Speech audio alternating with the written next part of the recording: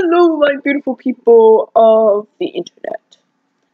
Welcome back to my channel.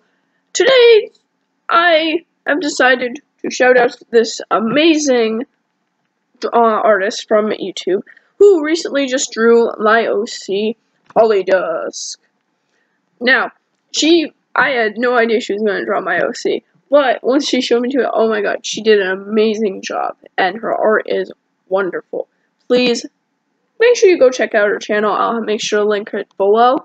She is Addie Draws down on YouTube and Magic Swirling Ships on DeviantArt. So make sure you go follow her there and follow me there while you're at it. I'm Eagleleaf over there.